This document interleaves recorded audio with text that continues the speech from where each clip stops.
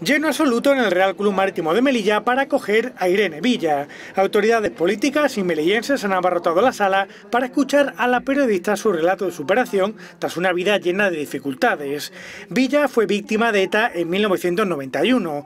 Con tan solo 12 años sufrió un atentado con coche bomba junto a su madre. De forma milagrosa, ambas sobrevivieron. A lo largo de su charla ha contado a los asistentes cómo fue capaz de afrontarlo. La clave es superar nuestras propias expectativas.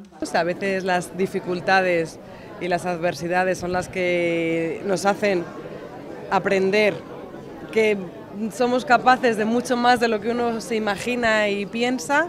Yo voy a contar un poco mi trayectoria y todas las cosas que he ido pasando y superando, que es lo que me han hecho ser la persona que soy y que somos lo que nos ocurre, cómo lo afrontamos y que da igual lo que te pase, sino, sino tu sonrisa y tus herramientas que todos tenemos, ese potencial maravilloso de de optimismo, de lucha y de superación. Villa también es escritora, tras su éxito Saber que se puede, donde relata cómo fue superándose día a día tras el atentado, ha explorado nuevos estilos como la novela y sigue con nuevos proyectos en mente.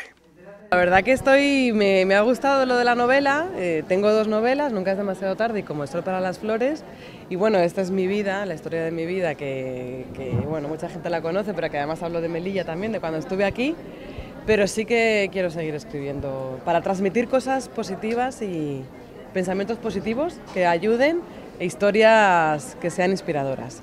La conferencia organizada por la Viceconsejería de la Mujer y Juventud es una de las actividades desarrolladas en el marco de la programación en torno al Día Internacional de la Mujer.